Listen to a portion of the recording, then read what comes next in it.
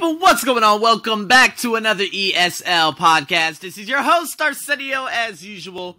So grateful. You guys might hear the storms in the background. I do apologize, but baby, it is a rainy and thunderstormy day out here in Bangkok, Thailand. Guys, today is gerunds and infinitives uh, 2. All right, so Again, guys, gerunds is ing. Infinitive is to go, to play, to.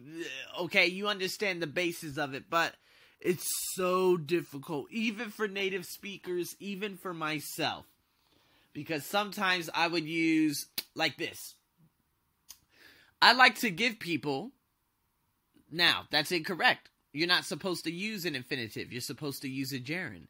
I like giving people presents. Not I like to give people presents.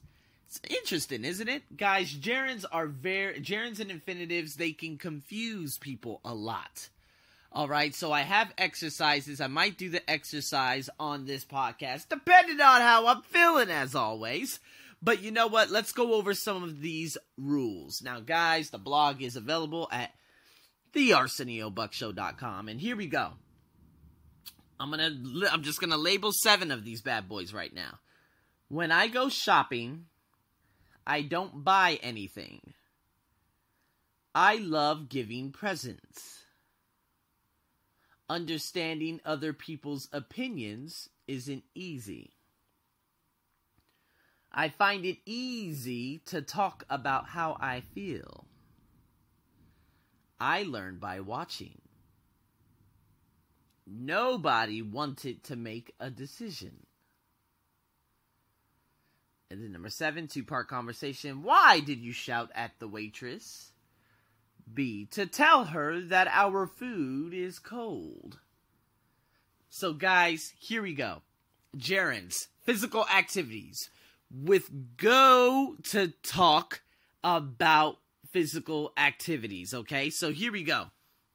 Okay, so with go, with go, with go, with go.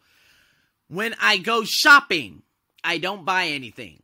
Okay, so that signals the physical activity. When you go somewhere, that's the physical activity. You will use the ing, the gerund. The second rule, as the subject of a sentence. So that would be understanding other people's opinions isn't easy after verbs of liking or disliking. Okay, that's like I love giving presents. And of course, after prepositions, I learn by watching. By is a preposition. So, with we use infinitives after certain verbs like want. Nobody wanted to make the decision. You could use it immediately after adjectives I find it easy to talk about how I feel and to explain why somebody does something. Now, the person shouted why to tell her that our food is cold. See, guys, gerunds and infinitives, again, this, I'm serious, very, very serious about this. You guys should get those rules. Memorize those rules. I know memorizing information isn't the best thing to do. I got it. But please memorize this because this is going to help you and it's also going to help me. Because I've actually had so many difficulties using the gerund, the infinitive, the gerund, the infinitive. But now, just by knowing these simple rules, you guys could clean up your writing.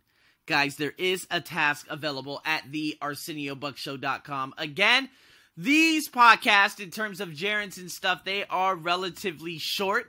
But the rules is what I was trying to give you guys today in terms of what you can take from this podcast and start using immediately.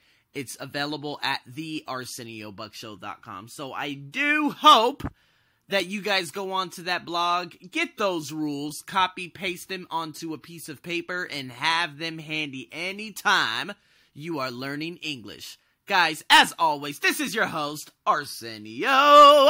Over and out.